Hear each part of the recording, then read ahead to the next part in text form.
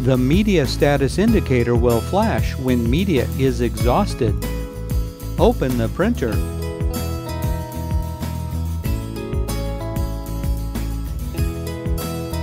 Remove the used ribbon from the take-up spindles.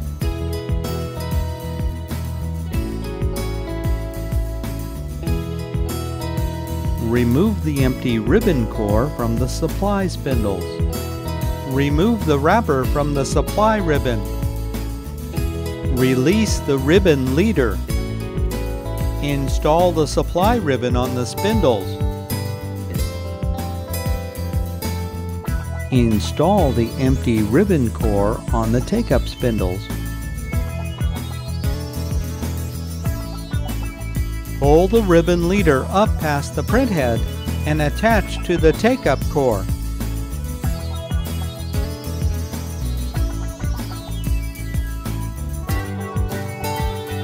Wind the take-up spindle towards the rear of the printer until you see the black area of the ribbon.